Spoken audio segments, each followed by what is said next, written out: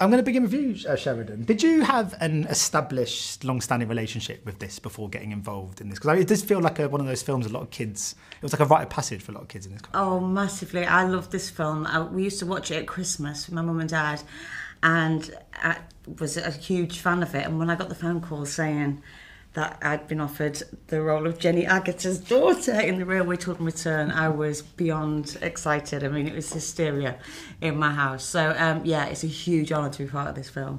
Yeah, what does this material, this whole franchise, if you can call it that, sort of mean to you? I mean, it's been such a huge part of your life, hasn't it? The Railway, Children, as, a... as a whole. um, it has been a huge part of my life, and it's kind of peculiar because it's it, it, it hasn't uh, hasn't actually changed my career, although it kicked it off. I have to say, you know, the film that Lionel Jeffries made, I did it on television, then I did the film, and that had a huge opening. But then it was it went away for a long period of time, and only came back when I returned to the UK, and I realised it had become a classic in, in the UK because in America it didn't really um, take off.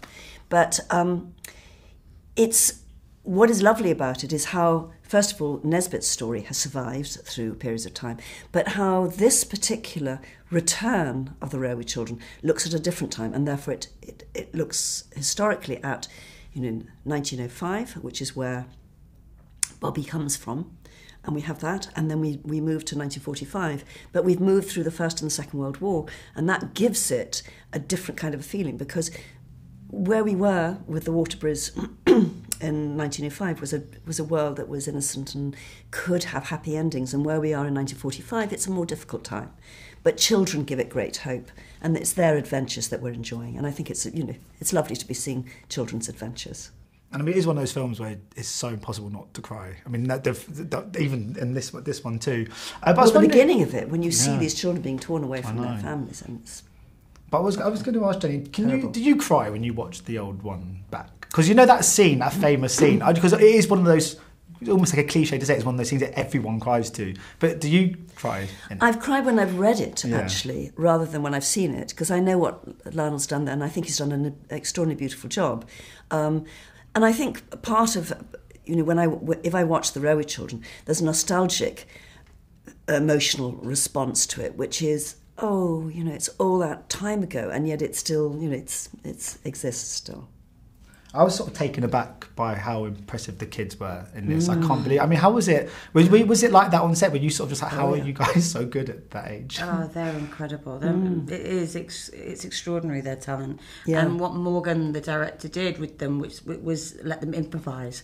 So loads of those lines that are in the film were just off the cuff, weren't they? And and and so they captured a magic that I think that, you know, they're not precocious at all. They're a genuine little group of friends, and the heart of it just comes across on the screen, doesn't mm. it? It was just brilliant. Yeah, and it's lovely to play with because they're so, you know, they're so into uh, their imagination and, and creating that world for themselves, and they draw you into that. So, you know, as an actor, you you you it becomes much easier because I just wanted to play with them. Yeah. It's almost quite infectious that outlook they have. Absolutely, mm. yeah.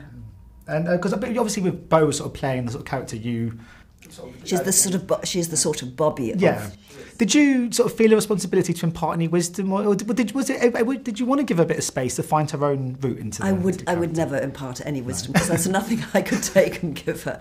Um, what's lovely is just I, I was hugely impressed just to sit and watch her. I remember that one of the first things I did was actually the scene was um, the scene at the very end, and just seeing the way she handled that was so beautifully um, and so emotionally and so um, honestly. I mean, just completely inhabiting it, um, which is you know something you can't teach somebody or tell somebody about, and just something I can admire.